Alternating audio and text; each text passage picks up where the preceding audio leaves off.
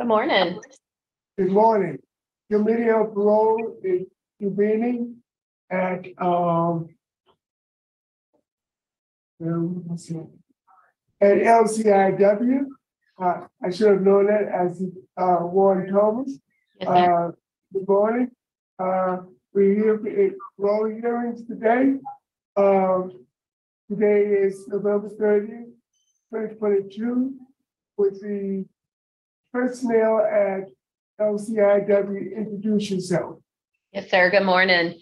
Um, I'm Warden Kristen Thomas. Sarah P. A. R. V. C. Manager. Good morning, Pamelia Washington, Record Supervisor. Good morning, Chaplain Debbie Sharkey. Welcome. Uh, we're ready for our first offender. Yes, sir.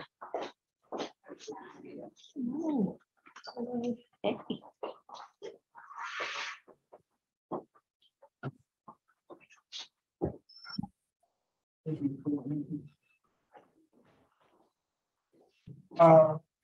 good morning. How are you doing, Ms. Willard? I'm good. We are waiting on some, uh, individuals to come into the hearing and as soon as they enter the room, we will start. Thank you.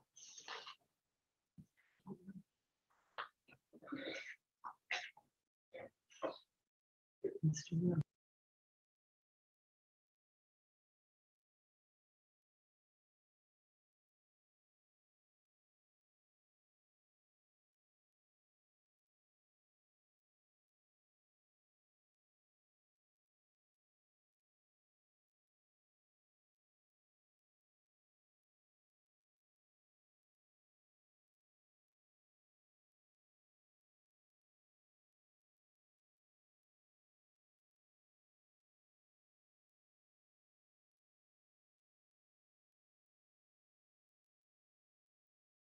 Your full name and your Department of Corrections ID.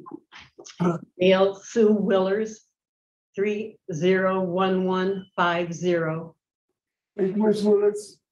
Uh, my name is Alvin Roche. To my left is Cameron uh, Sheryl Ranatza, and to my right is Board Member Bonnie Jackson. We will compose your panel this morning.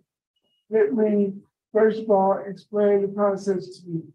I will information into the record. Once that information is the record, we'll conduct a floor interview. At the appropriate time, we will give Warden Thomas a chance to make remarks, observations, or comments. Then we'll hear from, uh, uh, your, your supporters, uh, Andrew Putney from the Louisiana Parole Project, Mr. Timothy Wilkerson, uh, a mentor, and your mother, is that Jason? That's my son. Oh, Okay, the relationship, okay, so Jason's your son. And Jason would like to speak. Uh, Mr. Wilkinson would like to speak, and Andrew Hundley will be given a chance to make a presentation. We also have victims in the hearing room. Uh, Mr. Richard Ray, uh, would like to speak. Uh, Wayne Parr would like to speak. Uh, Charles Parr would like to speak. And Paul would like to speak. Now, we have a limit of three persons that like to speak, so if between you four, you, that which three would like to speak? Um, Wayne, Charles, and Kenny. Wayne, is- Wayne is my brother. He's a brother. And, uh, He, he was. Okay, so again, okay. I'm Kenny. Okay, okay, okay, okay. Yeah. Yeah, yeah. So, um, Dwayne, Charles, and Kenny will speak.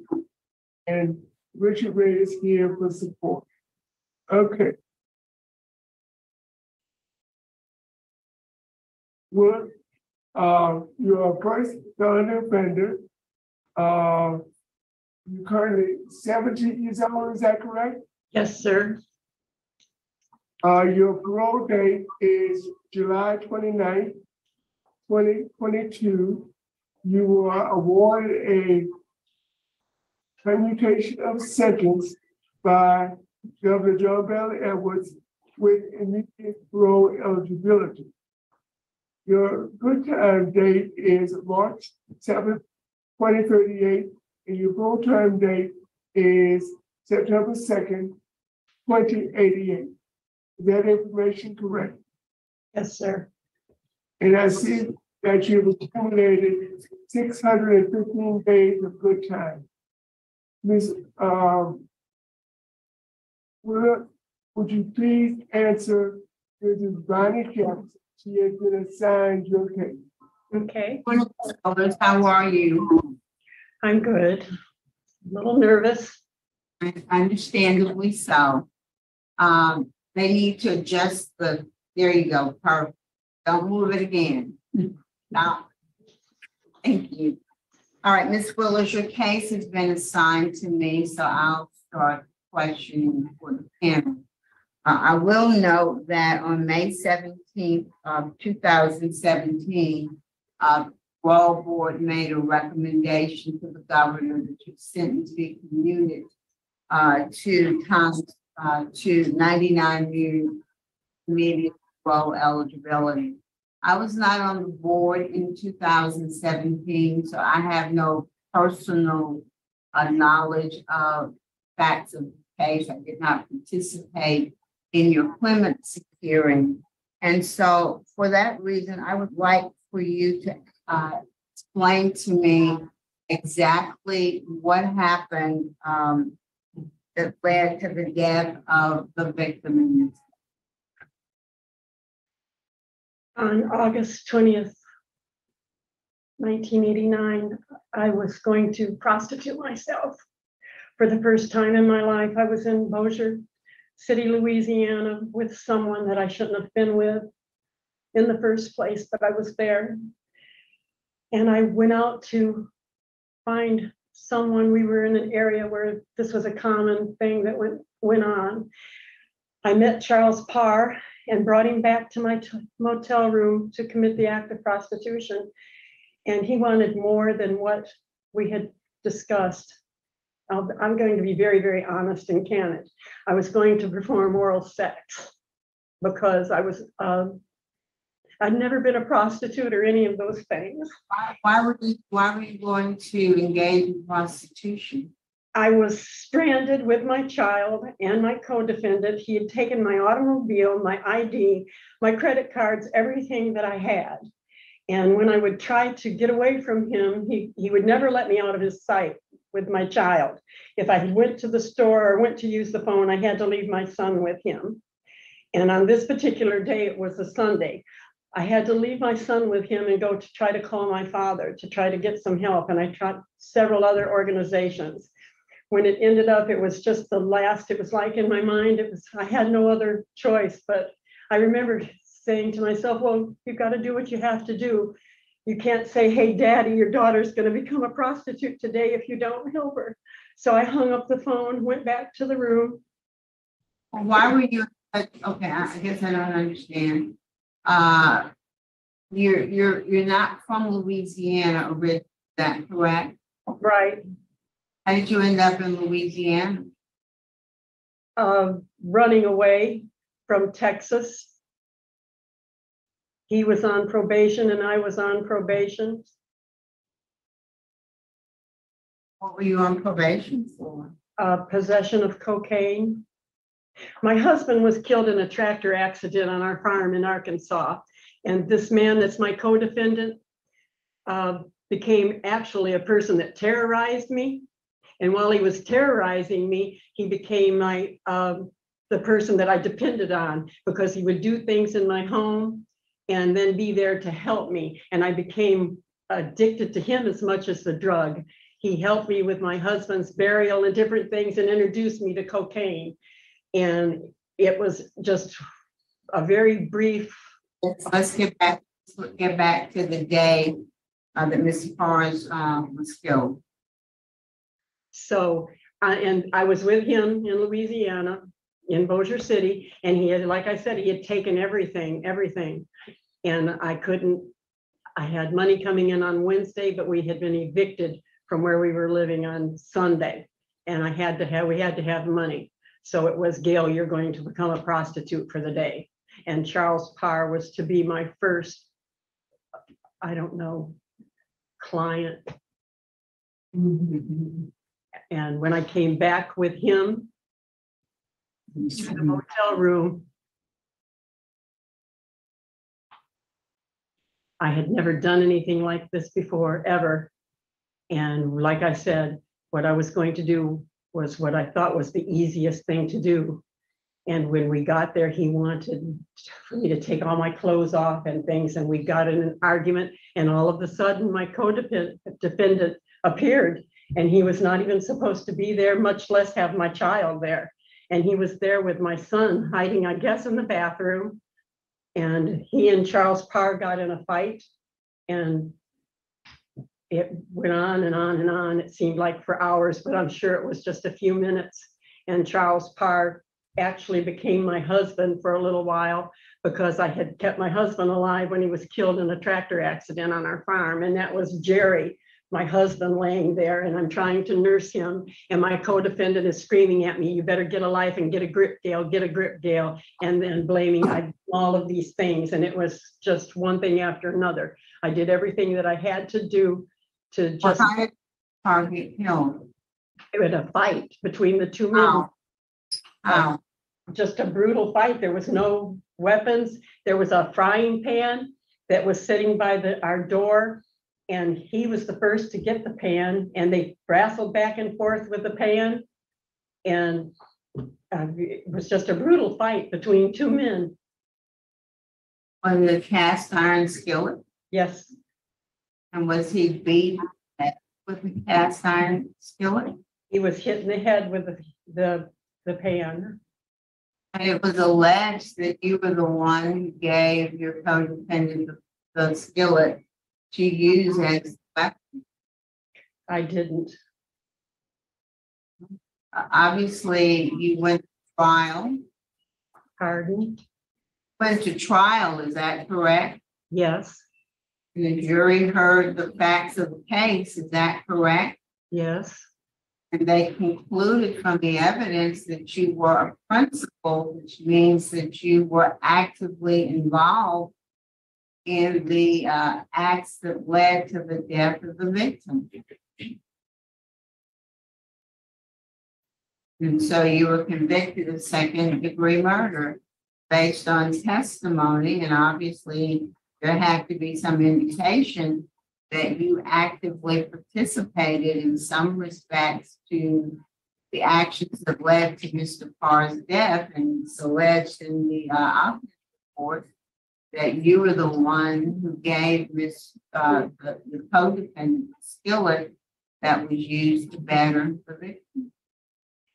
may I speak to that? Please. My son My son testified to that, but I didn't realize that he testified that I gave him the pan. I thought he said that I gave him a stick and hit him in the head with it. And I did not either, but my son has had extreme emotional problems. He blamed me, he said I killed his father in a tractor accident. You, you're going a bit far afield. Um, Mr. Roche, you wanted to address Yeah. something? Yes, uh, in, in error, I mis, uh, identified some of the participants. I want to clear up, uh, we have Mr. Richard Ray, he's a DA. Uh, and would you introduce yourself, Mr. Ray, and tell us what jurisdiction you're from?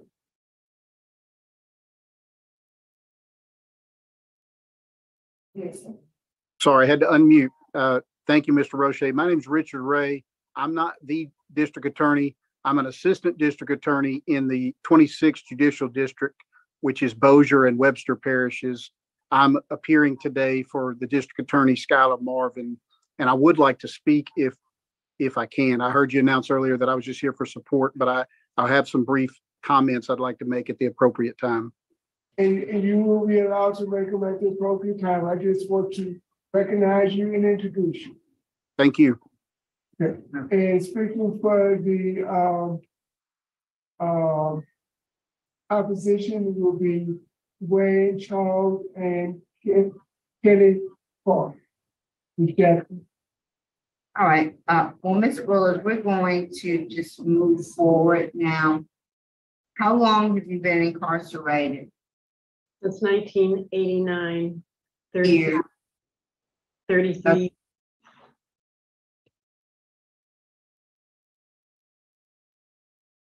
And, um, I was reviewing your record, uh, you've only had four write-ups in the thirty-four years. Uh, you had a write-up in two thousand one, and that was for contraband. Do you recall what that contraband was? Yes, ma'am. It was a pair of tweezers that were itemized to me. I had an itemized sheet for the tweezers, and when the correctional facility became ACA uh, accredited, they were supposed to have been disposed of, and they were not. They were in a a piece of article that I had, and in a shakedown, it came out in, out of a uh, makeup bag or something that I had it in. I can't remember what it was but it was written up as contraband. And what was your punishment? A suspended sentence of thirty days that I outlived and it- Also, I see that on six hundred and fifteen days, the time uh, of programming that taken. What? I can't understand what she said. Six hundred. I said have earned six hundred and fifteen days of credit. Yes, for ma'am. programming. Is that correct? Yes, Were you a, s- a drug user or an alcohol user back when this crime occurred? You said you were I was, a- Okay, so, so tell us about your drug and alcohol use. I became a cocaine addict when my husband died. My co-defendant introduced me to cocaine and it was the first thing that ever. Oh, That's all. How often were you using cocaine? at the time of, of my arrest in Bossier, not at all. But when I became an addict, I used coke for about three months, all day, every day. I'm I'm confused. I thought you said you had a- a cocaine conviction out of Texas. And you were Texas. This was all very fast. This was just one thing right after the other. My husband was killed. Ma'am, I'm an addict. okay, please try to focus your uh, answers, to questions that I'm asking. That's how it- I became an addict immediately and it carried over. But at the time in Bossier, there was no drug use, but I still was under the effects of the cocaine. It took years.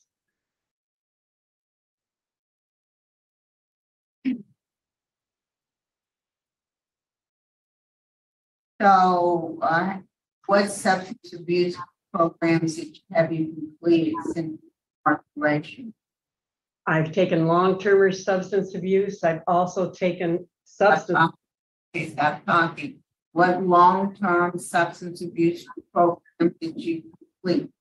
it's called long-termers. It was for people that had life sentences or long terms. Because at the time that I took it, we weren't eligible to take the other substance abuse programs because they, it was like there was no hope that we would ever be going anywhere. So they called it long-term or substance abuse. I've also taken these substance abuse programs that are offered twice. Once before the evacuation and once here, living in balance. I've reiterated and taken it again.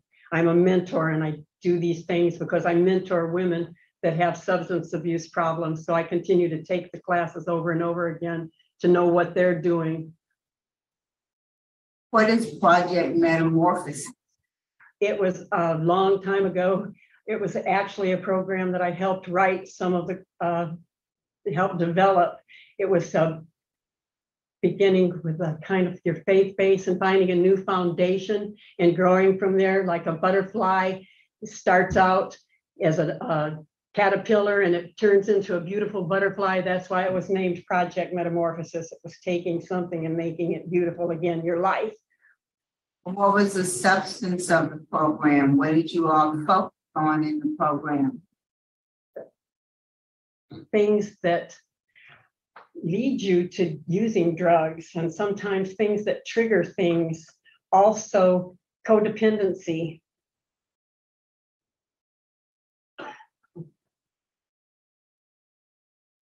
You also took victim awareness, is that correct?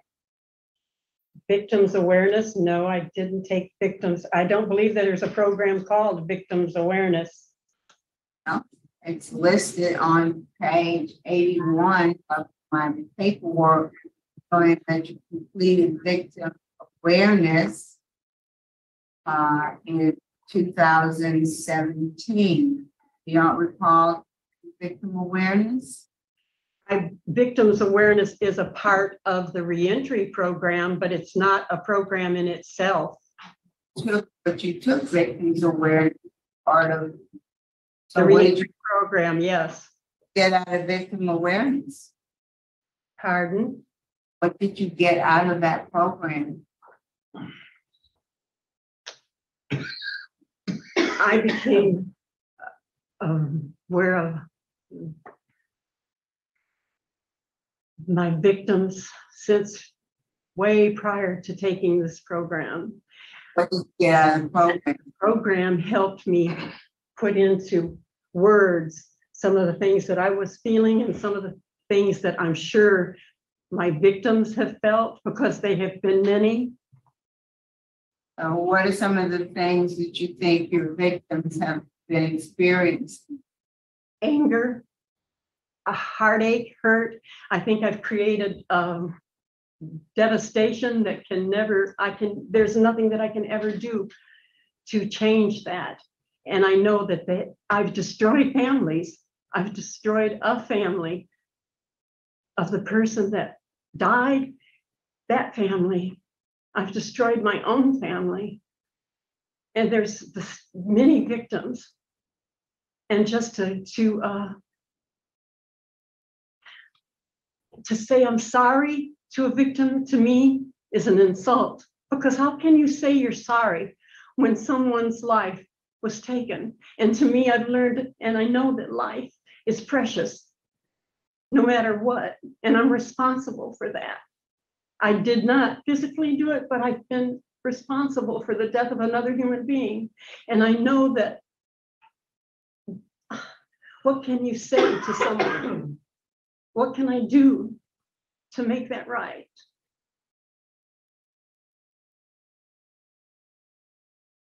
Uh, what, um, what have you been involved in that would be considered, uh, service to other inmates or service to the institution?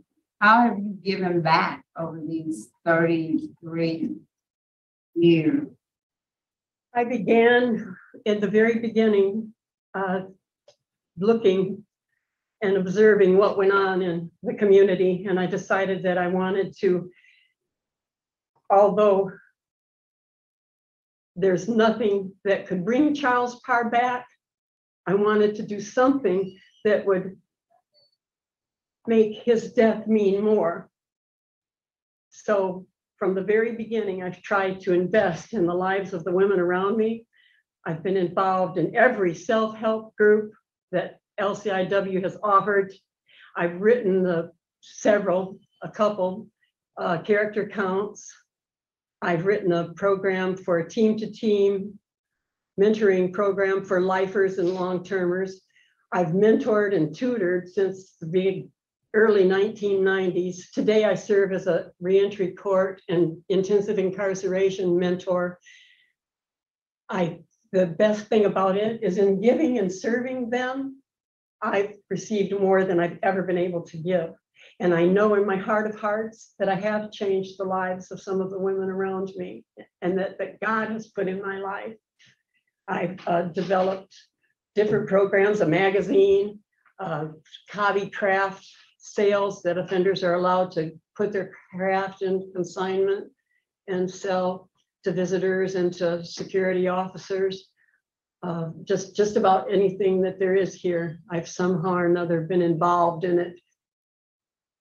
Photos, photography, but the most thing, the most rewarding, and I think the most, the best thing is the mentoring. Because How? Go ahead. there are women who still have a chance that God has placed in my life. And if I've reached one, I've done something, but I know in my heart of hearts, there have been more. Because the proof has been in the, the- my mentees don't recidivate. What what can you tell us about, um, Ms. Willers? Sure, good morning.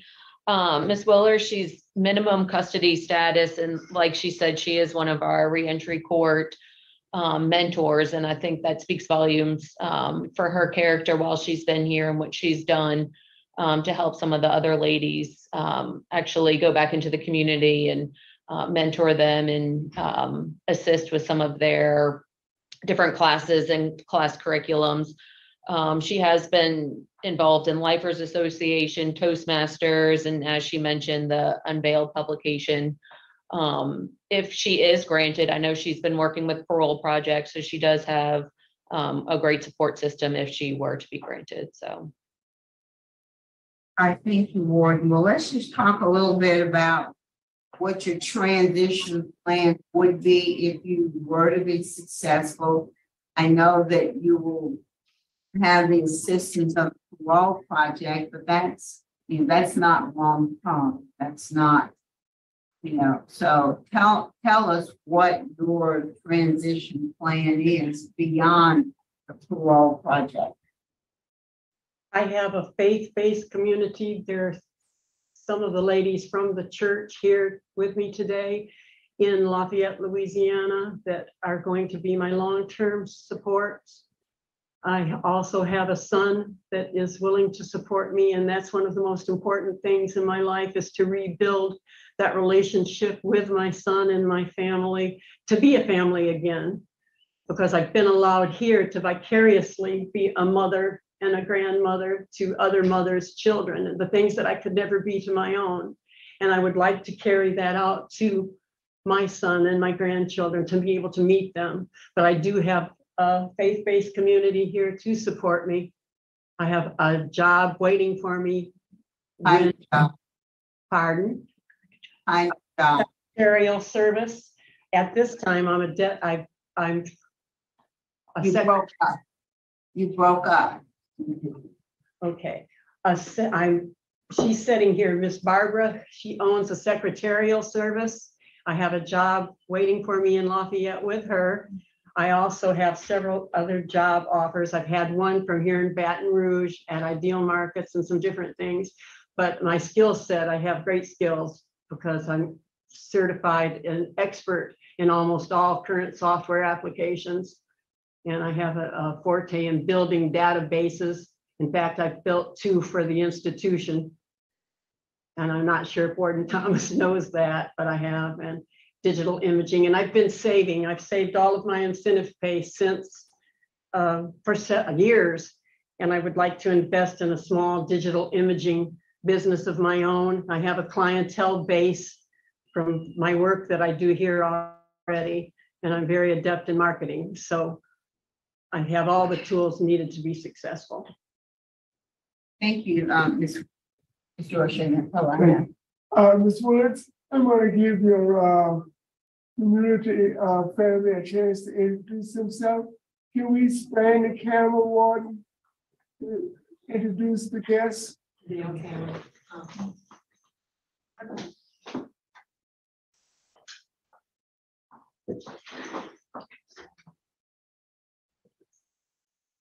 Uh, would you please introduce yourself one by one? Okay. My name is Barbara Williams. I'm Barbara's Secretary of Services, where Gail is gonna be working. From the First Apostolic Church in Lafayette, Louisiana. My name is Peggy Broughton. Uh, this Gail would be living with me until she transitions to another place in Lafayette. Peggy Broughton. From Lafayette. Yes, ma'am. Okay, my name is Stephanie Hiltz, and I'm the secretary at the Apostolic Church. Oh, my name is Edmund Gibson. I served thirty-two years and I also worked with Gail when I was here as a mentor. Thank, And you're from Lafayette. Oh, Lafayette, my, my bad. thank you so much for the, for your attendance. Yes, ma'am. Yes, ma'am. Is that it? That's, yes, that's do- our chaplain, Dr. Sharkey. Yes. Uh, Madam Chair, do you have any questions? Um, At this time, we're going to hear from the Louisiana Parole Project, Mr. Andrew Hundley.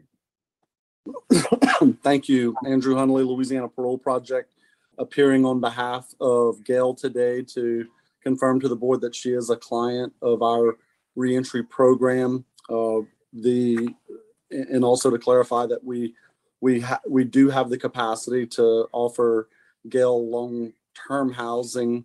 Um, I, I- know that she has opportunities in Lafayette, so uh, she will have as much time as she needs to complete uh, the initial transition process with us, uh, whether that takes we, you know, several weeks, several months uh, before her eventual transition to Lafayette.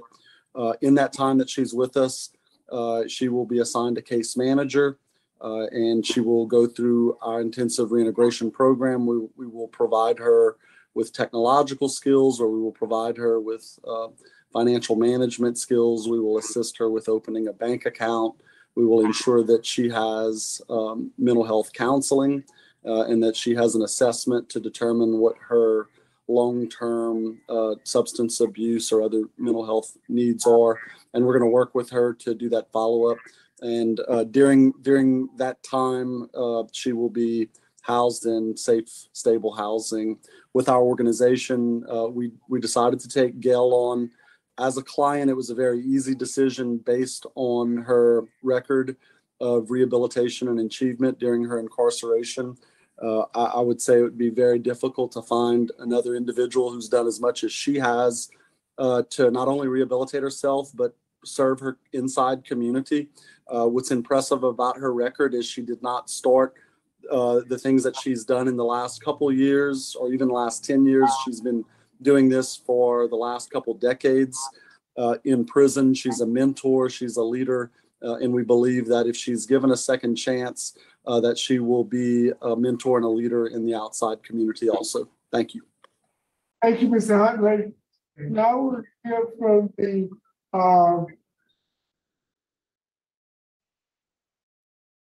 is, is, uh, the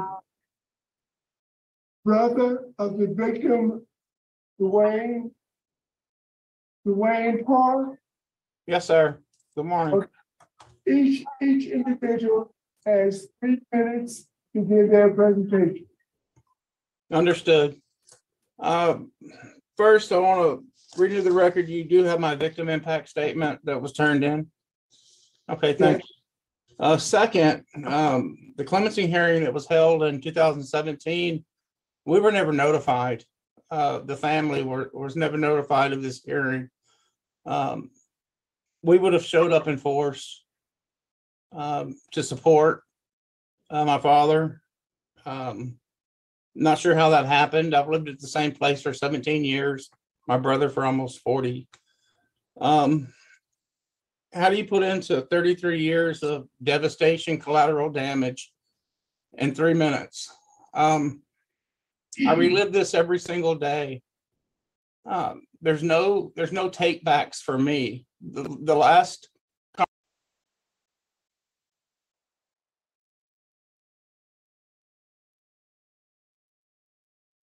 conversation I had with my father was an argument on that Sunday afternoon.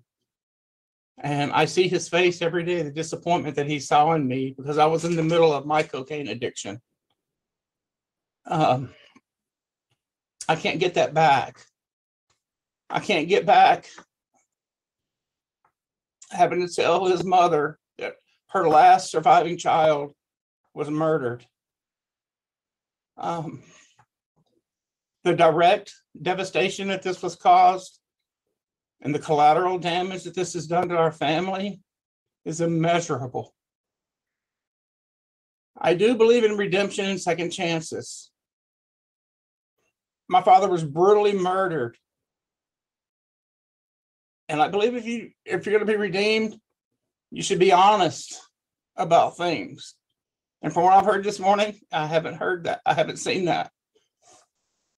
Having to relive it and relive it and relive it and relive it has been devastating to me. I turned my life around in 2005.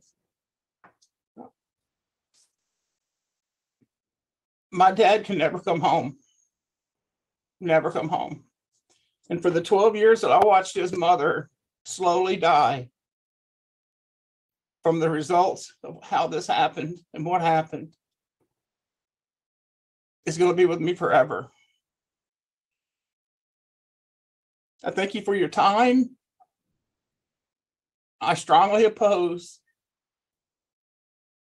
any parole or pardon in this case. Thank you.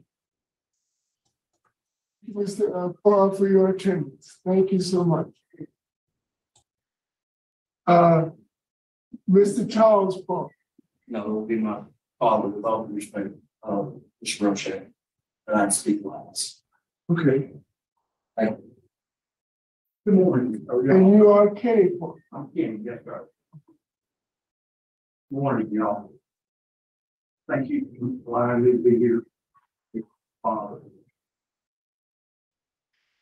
That's my, my favorite brother.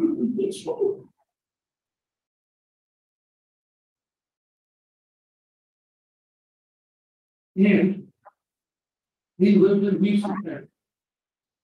And we're, and we're looking posing. And I talked to my dad that morning, that Sunday morning. And, uh, he, was up and I had to go pick some stuff up for him. I was gonna meet him back at his mother's house. He lived with his mother. My grandmother, my son's great grandmother. So she was out of town and then it was a great sister. And he was being on later, right? My dad said, I'll stop and get some lunch and stuff and come and we'll watch a golf tournament. Play golf together all the time. So that was a big deal watching my son together. And when I got, when I got over there, he wasn't there, or wasn't there, and that's just not the way our father is.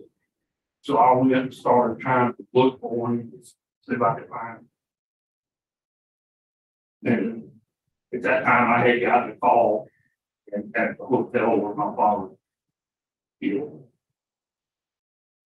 And I went over there because my brother and I were born and raised in Bossier City, my dad. We all, that's our whole family. So I knew a lot of the police officers and EMT and stuff. Uh, and they get called, and I went over there and it was my dad. I called I got my brother. But we didn't want my, our grandmother to see it on the news of all the news. We were scared that she would kill her because she had terrible congestive heart failure-. And, uh, so my brother had, to go. Was on my way. It, comes to me. It's, my best friend.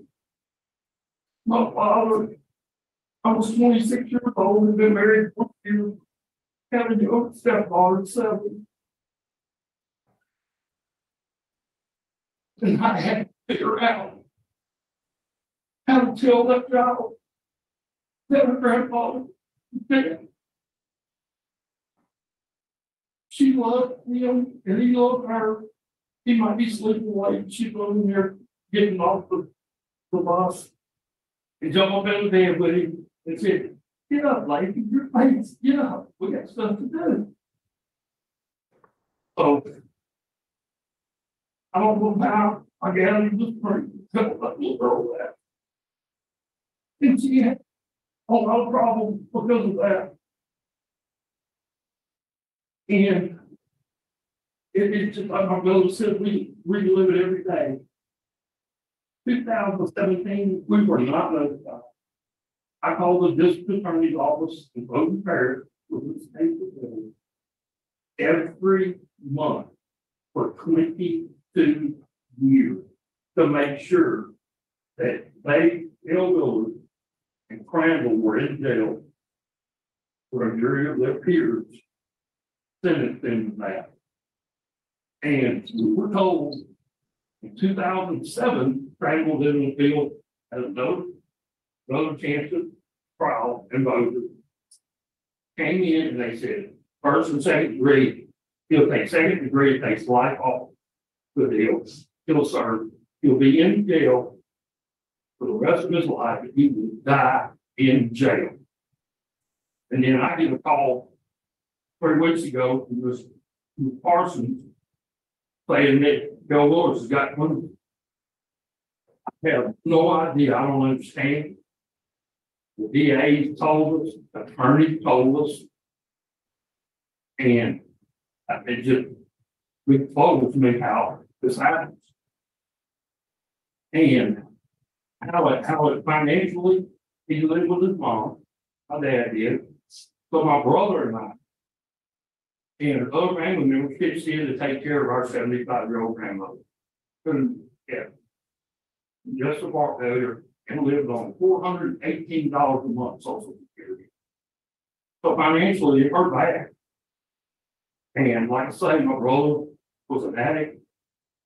Well, my brother, I'm very, very proud of him.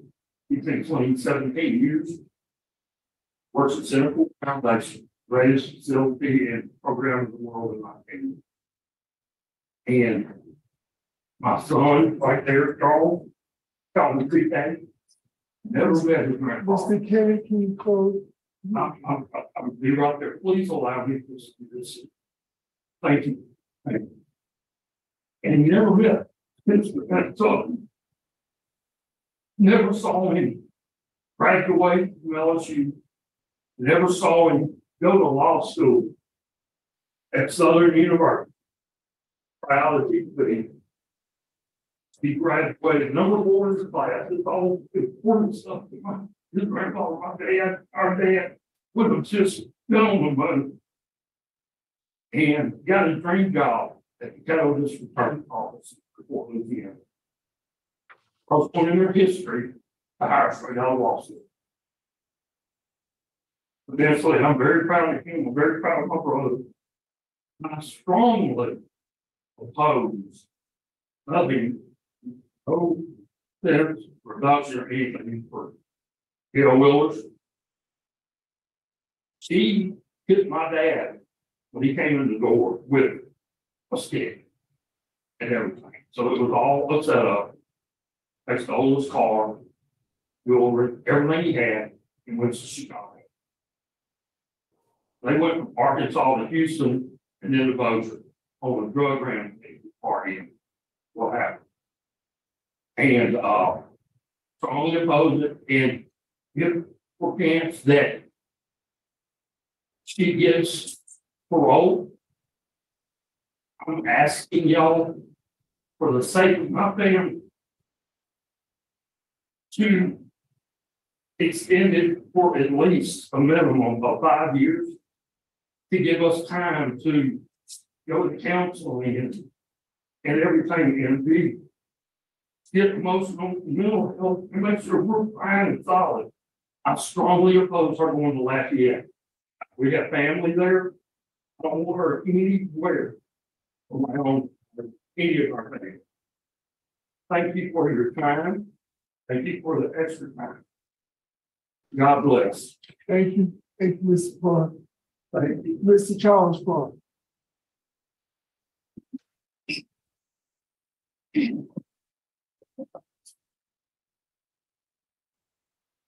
Yes, sir. Morning to this father, thank you for the privilege of my taking this time to speak. As my father alluded, my name is Charles Kennedy Parr, grandson of Charles Wolf Parr. Three years before my birth, my grandfather was murdered. Thinking it's just like seeing my uncle's reaction, father's reaction. Can't imagine how heart shattering, soul shattering it must have been. Talk about this. I never knew what happened to my grandfather, except he was murdered. My grand, my father could only muster a single sentence. An explanation.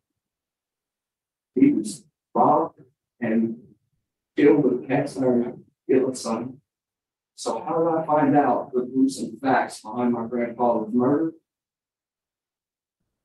My second year of law school, I was studying evidence procedure. I read my textbook, State of Louisiana versus James Crane. I read the facts of how my grandfather was murdered, the setup that Gail initiated.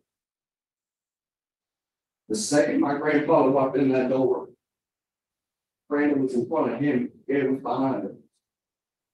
She hits him behind the head with a big stick, knocks him down, and then she proceeds to hand James the cast iron skill. I was frozen. I, it was an out of body experience. Reading the facts for the first time. And I know the son is here again. Uh, the only thing I have to say to him is I thank you. You were five years old at the time, you testified. It was your testimony that wound up being the driving force that allowed justice to be held on that day as it relates to Gail. To hear them laughing, laugh after my grandfather saw floor, blood, tied him up. A jury of, her peers convicted her on this factual basis, and you hear that completely dispute that. She, she disputed, now she disputed it back in her clemency here. Disingenuous, refusal to take accountability and accept what you convicted of. Her role as a part of this justice system, I do believe that those that turn themselves around and confront their demons in their past. Gail has not done that, has not. I'm the first generation, my, uh, generation attorney my family after reading the facts that I did on that day, my second year of law school, that was my inspiration for becoming an attorney, not just an attorney, but prosecutor. So that families, they come after me and experience the same tragedy, if not God forbid worse.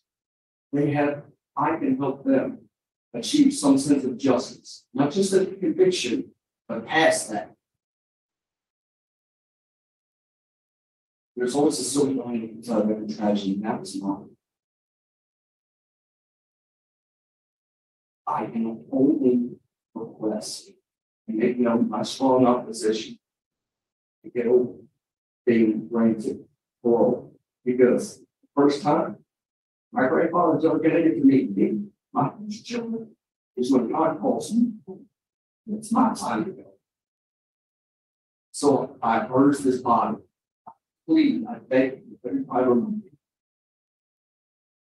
You're not going to see me. Chief not concerned with such a thing. Thank you. Uh, at this time, we're going to hear from Miss Mrs. Wood's son, Jason. Jason, Hello. Jason, well, well, I'm gonna. Uh, I'm gonna introduce you to Jason, uh. would Yes, you sir. give- State, you give us your state. Okay, so after having listened to this, I had wondered what I was gonna say. The reality of it is there's a lot of facts. A lot of people lost family. I lost a mom. My grand, my daughter lost a grandmother. They lost a father. and a grandfather and, and nothing's gonna take that back. I mean, there is nothing that undo- undoes that. The, where I stand is I, I've not lived a, a good life, but I know that there was, everybody involved in this altercation was all in the wrong. My mom was in the wrong, the person was in the wrong. What people don't know is I met the co-defendant and he was not a good person.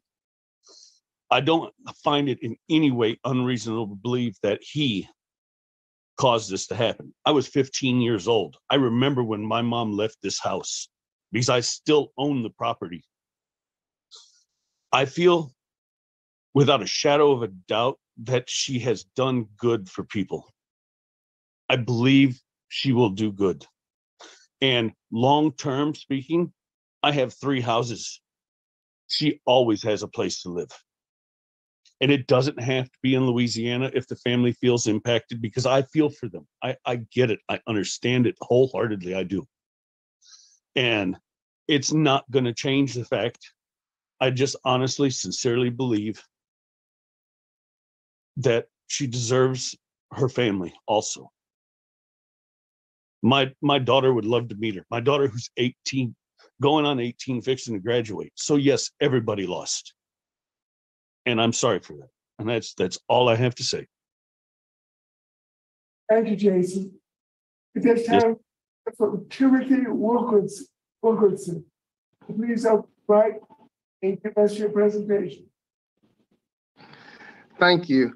Um, indeed, my name is Tim Wilkinson, and I met Gail Willers uh, in 2005 after her incarceration began.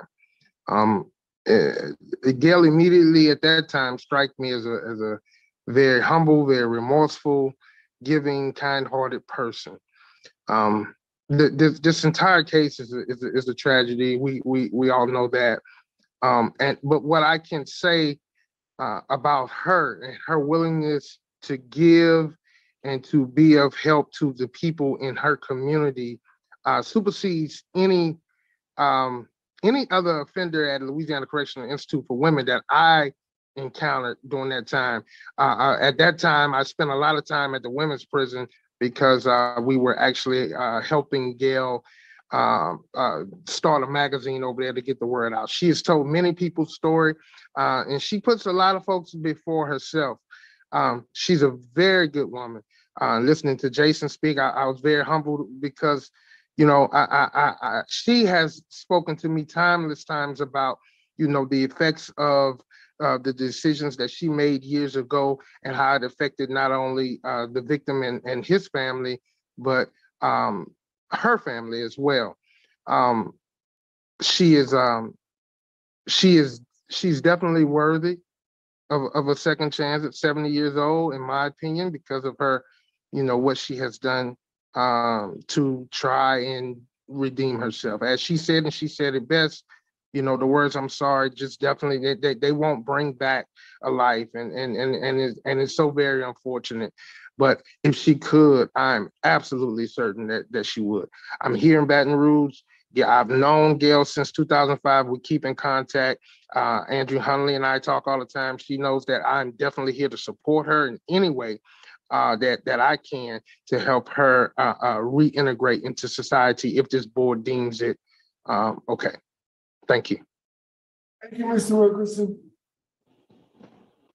Uh, Attorney, uh, Ray, would you like to close out the, presentations? I'm sorry, Mr. Roche. Yes, can you hear me okay? Yes. Okay, yes, I know my time is limited, so I'll be brief. Uh, good morning. Thank you for allowing me to participate on behalf of uh, the Bossier Webster District Attorney's Office and District Attorney uh, Schuyler Marvin. Uh, I was not one of the prosecutors on the case uh, when it was when it was tried, but Mr. Marvin was involved in it and prosecuted it and has briefed me.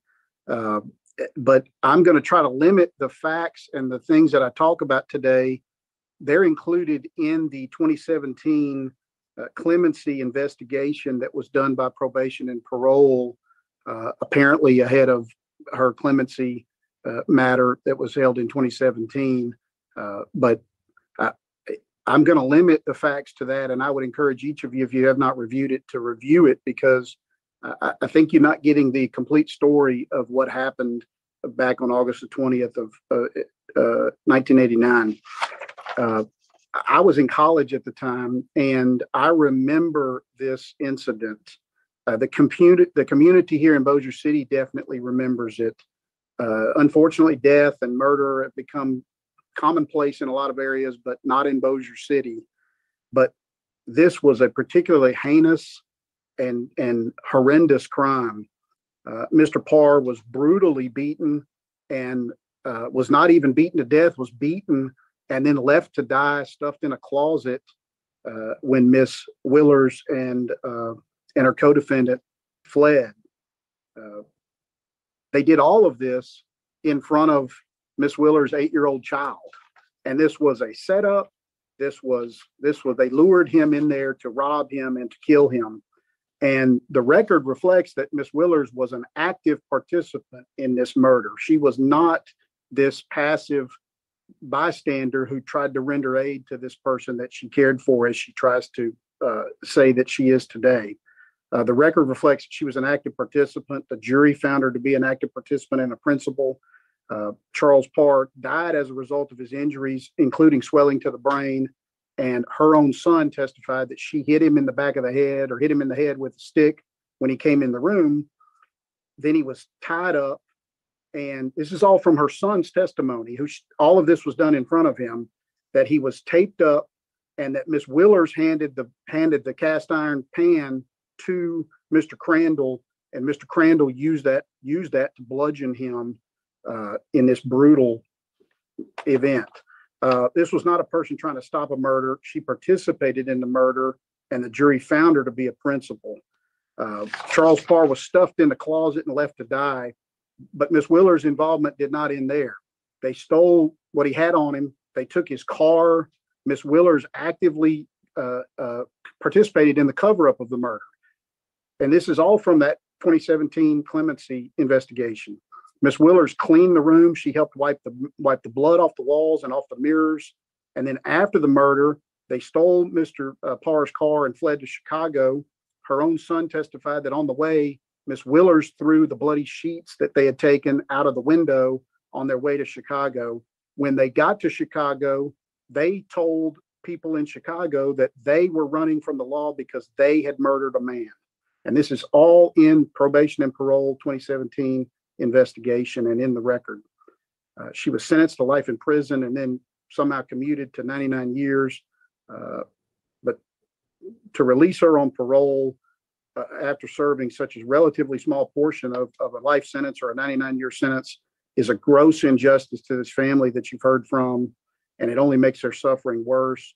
Uh, our office and Mr. Marvin uh, would strongly oppose any parole uh, for Miss Gail Willers. And, and one other thing, I'm sorry, Miss Willers in 2017, I listened to the recording of the 2017 clemency hearing that I was recently uh, provided. And in 2017, she said, I'm as guilty as, as he is, meaning Mr. Crandall. And the jury agreed with her. She seems to be taking less responsibility now than she did in 2017, but she still seems to take almost no responsibility and no uh, responsibility for her clear active participation in this brutal murder. Thank you. Anyway, I have a question. Yes, sir. Is there any indication how long the victim was in the hotel room before he was found? Uh, I don't have that, Mr. Roche, because I was not one of the prosecutors. I, I, I, I, I, I just don't know and wouldn't want to speculate, but I know that the report and the 2017 report shows that he was, he died of heart failure that was caused by swelling of his brain. And so it's, it's, it's inferred certainly that he, that he stayed in that closet for some period of time and, and, and probably died a very, a very slow and probably painful death. But I personally, I'm not sure how long he was there before he was discovered. I believe it was by the hotel staff, uh, probably within 24 hours or the next day, but that would just be, I, I, I- I don't know that for a fact. Ray, Ray, thank you, uh, for your attendance. You have, uh, supplied some vital information. Thank you very much. Thank you. Uh, Ms. Woods, Yes, sir. would you like to make a closing statement? Yes. Everything said here today is true. Uh, I am responsible and I've never, ever, ever, ever said that I'm not. Because I am definitely responsible. I know that had I not been doing what I was doing that day, Charles Parr would still be alive today, and I've always been accountable from day one. I've mourned his death along with his sons. I've mourned the devastation and the havoc and everything that I've created in everyone's life, theirs, my children's. I am responsible. I've tried in everything in my power to give back and do something to make that death worth something, to make it mean more. And again, I can't say that I'm sorry because it means nothing to say you're sorry. How can you say you're sorry to people like his sons and his family? If I could bring back his life, I would. I would have done it a long time ago and I, I am accountable. I thank you for hearing me today and for giving me this opportunity. thank you, Ms. Woods. Panel ready to vote. Mr. Chairman, I'm, I'm in the executive session. I second. Uh, it is probably moved and seconded that we have an executive session to talk about confidential matter. We will adjourn a few minutes and then come back with decision.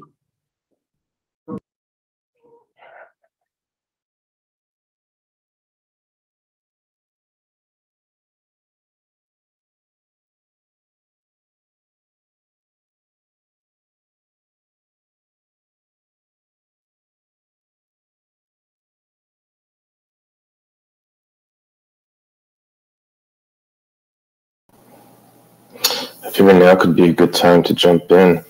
What do you think they're going to decide? Um, yeah, it's like a monstrous crime. And it, uh, you know, it seems that it was influenced by drugs, of course. But has there been enough time served? Has she been honest to the board? You know, from one side, it's like you hear from the family and hear about the crime, and it's just no. You got to serve your time. And then on the flip side, it's uh, do you think the person's going to do it again? Have they served enough punishment? And are, are they at a chance of being dangerous to society? I think that's ultimately what the board's going to have to decide here, right? It's always interesting to come up with what you think the decision is before having the board give it and then share share why. So always an interesting thought experiment.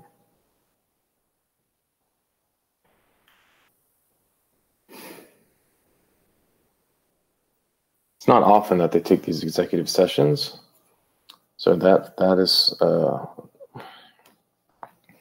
sometimes they're checking like facts. They they need to look over documents. Um, and they're, they're typically pretty quick though. Just a few minutes.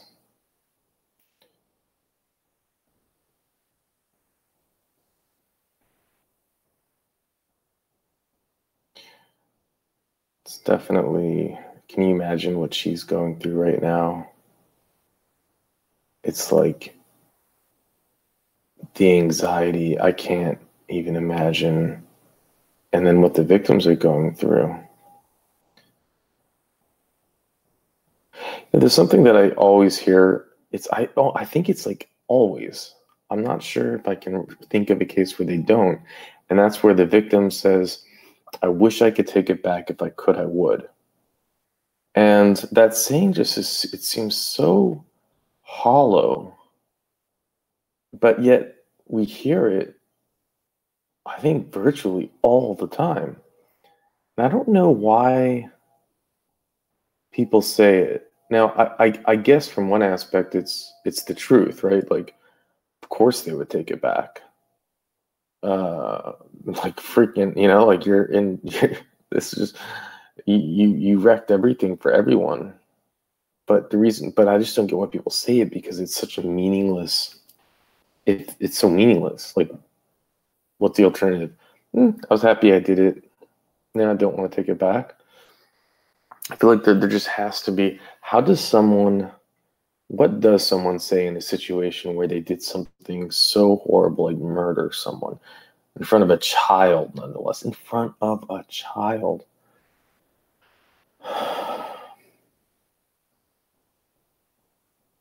I think it, it i think in this scenario it just has to be i have a drug rattled brain that wasn't functioning on the level of a human mind. I, I, I was turned into an animal.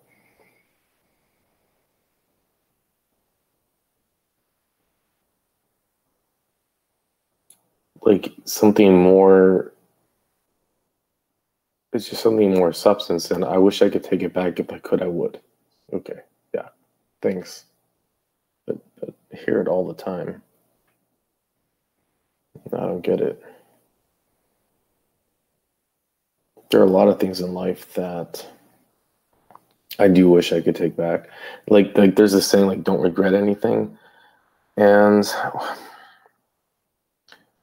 but I there are plenty of things that I regret and I I I guess at a certain point it's about wrapping your mind around certain decisions and coming to terms with the decision to grow from the decision where then maybe you can authentically say I don't regret it if you've come to the place where you have grown as a person because of it. Um, and then I guess that's a healthy full circle of saying I don't regret.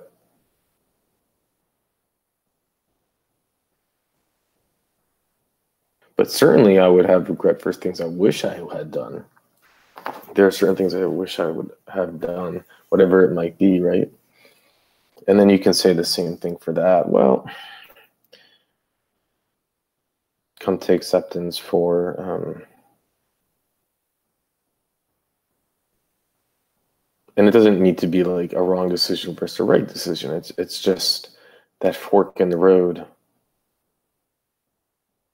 decision. You know, those life choices. What if you would have taken this job or not.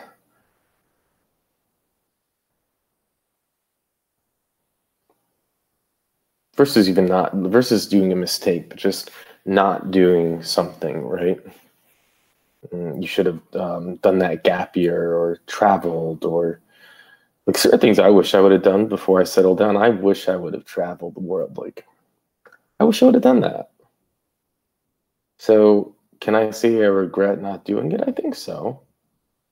Do I lose sleep over it or beat myself up over it? No, but I wish I would have traveled the world. I like the idea of traveling on sleeper trains. I've never done that, but man, it seems so like such a zen way to travel. Um, Let's see how much more time there is. Maybe I'll speed it up. 150. Yeah, I can speed it up a little bit. I think I think I've done enough talking. Okay, here we go. Here we go.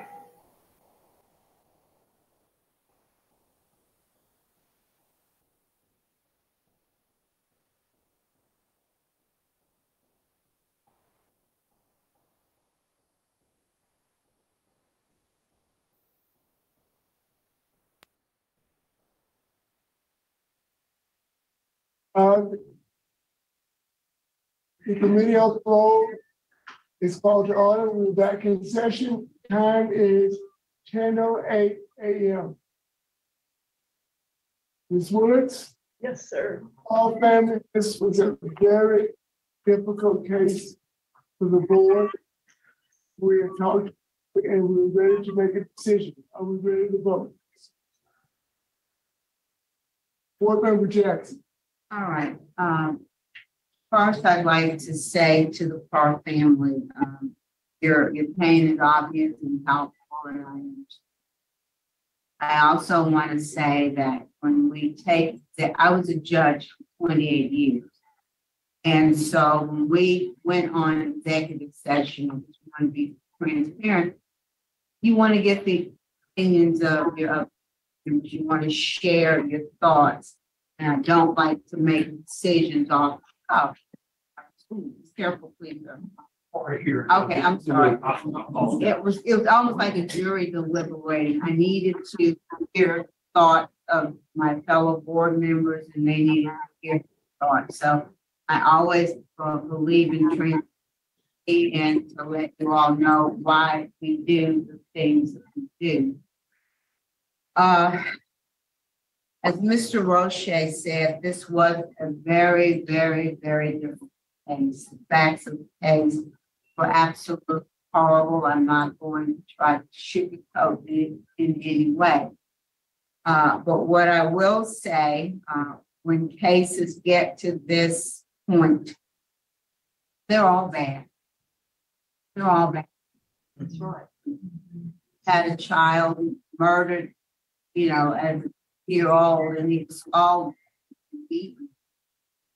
So they're all horrible. There, there are no good cases when you have these kinds of hearings. And so I don't want you all to think in any way that I'm minimizing uh, the seriousness of what happened to the Hartley. Uh, Ms. Willers, I really wish that when I asked you about facts of the case, I really wish that you had been more honest with uh, the board, but really more honest with yourself.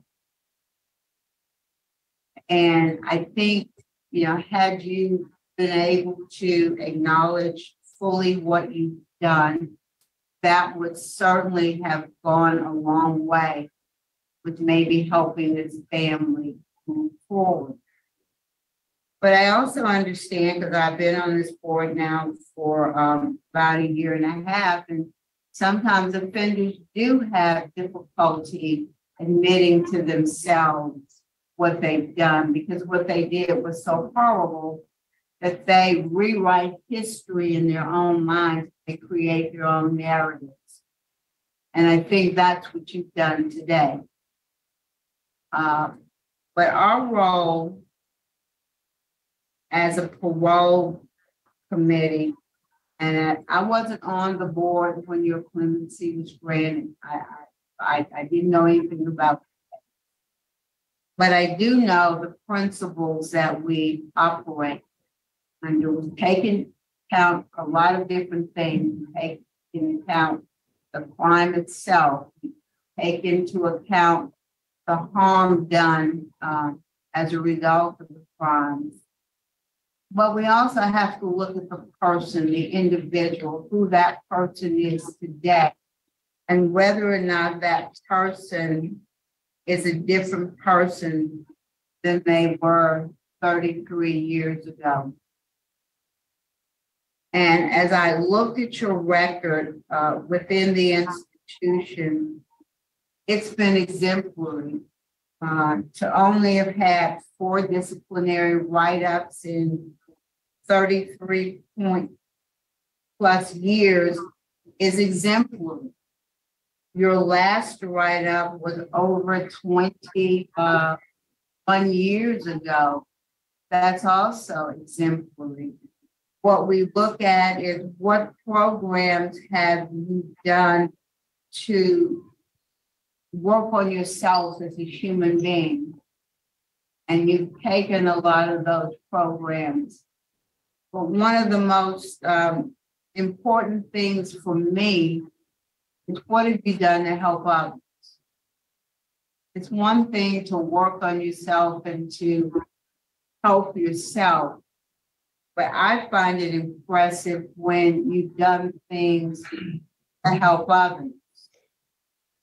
And you apparently have done a lot to help others. One of the women in the room with you today apparently had been an inmate with you, and you mentored her. And she's now on the outside and she's involved in church and she's doing good things with her life. And so I look at all of those things. I also look at the fact that the previous board saw fit to recommend clemency. And then the governor's office always does its own investigation of the person before they sign off, before the governor signs off. And there have been recommendations that the governor has not signed off on. And having been on this board and know, knowing how seriously uh, we all take our responsibilities, I respect the fact that this board in 2017 uh, saw fit to recommend clemency. And I would like to just clear up for the record, this is in no way a criticism of the Parr family, but our victim assistance office works very, very hard because victim impact is very important to us. And there were comments offered by the family in 2017. They were written comments uh, in 2017. Uh, so I know that the, the victim coordinated a very good job. And you wouldn't believe the list they go to the locate people. But with all that being said, uh, because you were recommended for commutation, because the governor's office did sign off on it, and because of your um, exemplary work for helping other inmates, my vote today would be to grant your parole with the condition, Ms. Willers, that you remain with the parole project in Baton Rouge for a minimum of one year. And then you reside, uh, what state does your son live in? Texas, You reside in Texas with your son, that you are not to return to Louisiana. You're not to go to Lafayette, you're not to go to Shreveport, Bossier area. Upon your transition from the Louisiana Parole Project, you are to go to Texas to live with your son. I'm just one vote, uh, Mrs. Ms. Willers, but that's my vote. Thank you, Ms. Jackson. Mrs. Ranatza. Thank you, Mr. Chairman. Ms. Willers, I was on your, uh, on the board in two thousand seventeen. You appeared for us, and I you then, uh, based on the work that you've done. I noted at the time that you started that work early on in your uh, incarceration, so you really, really worked on you and, and uh, provided assistance to others. So my vote today also is to grant with the same special conditions that Ms. Jackson has articulated. I would like to add that you're to have no, absolutely no contact with the victim's family. Ms. Willers. You have received post to grant your request. Ms. Willers. I said on the panel that you clemency. I don't remember whether or not I voted for you. But some of the facts about today were alarming.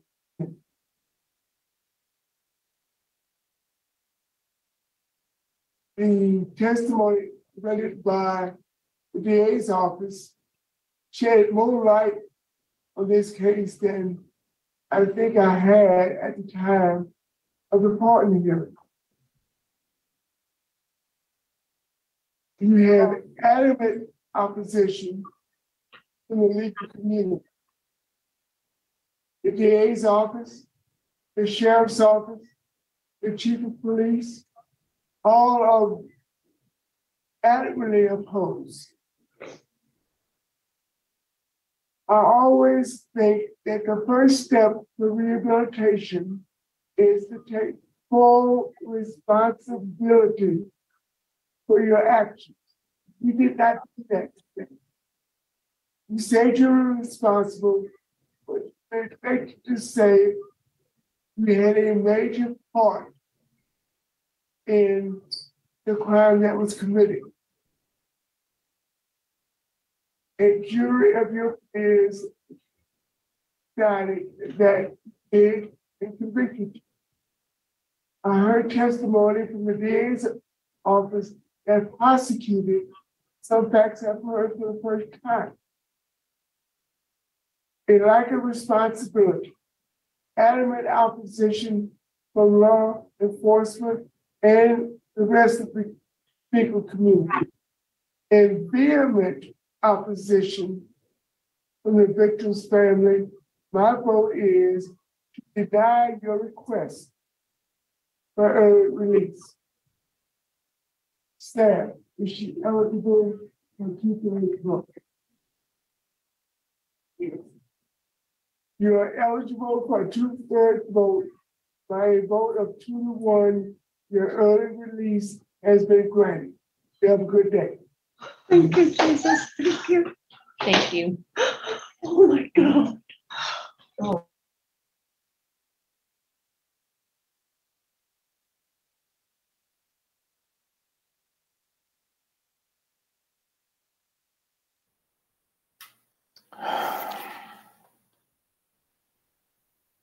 Yeah, just letting that sink in. Um, I, for some reason, didn't think that the two thirds vote would work in this case. You know, it's looking at the victim's, the vic, the son, the son's face, and just seeing how upset he is. That uh, it always makes me just lean towards the victim. Thank you. When I see the when I see that. Um, he obviously didn't want her out. This was the first time, and you know, if you if you go back to Miss Jackson's uh, statement, how she's been doing this for so many years as a judge, and that the victims often recreate the scenario and I heard some of uh, um, my subscribers had said this in the comments. And then to use that as the justification for why she wasn't truthful. And to me, that's a little, it's kind of like you're picking and choosing because you're, you're, you're saying it's okay that you weren't truthful because I believe that you have reimagined the reality so therefore I'll grant you. Versus just lying. But to me, that's no excuse. And Mr. Roche, I think he hit it on the head. He's like, you came in here and you weren't truthful. You need to take accountability. You can't make up an excuse. That means that the whole time their the, their acts are no, you have to take accountability. You did it. Admit to it, sit with it, live with it. And then take that and move forward. You shouldn't. I just disagree with Miss Jackson in the sense that, like, if we want to justify in our minds and make someone out to be less of a bad person, sure. You know, that's how we can say why they would come out. Because I would say, why would you come out and lie? It's not going to help your cause. That's just dumb, right? You've spent all this time in prison. You're about to get out. The governor agreed to commute your sentence to 99 years. You knew that this was coming. You had a hearing before. You know what you need to do. And then you're going to come out and lie. Now, the, the on the flip side, Ms. Jackson's like, well, she thinks it's the truth. But then if you think it's the truth, then you truly haven't accepted your responsibility you shouldn't get out then.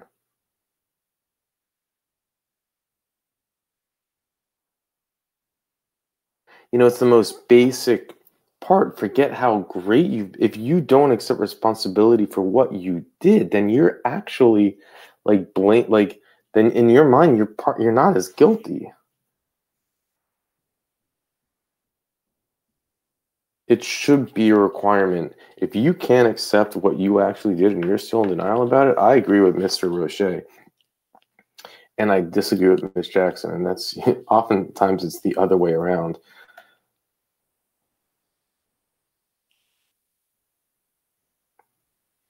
But she's getting out.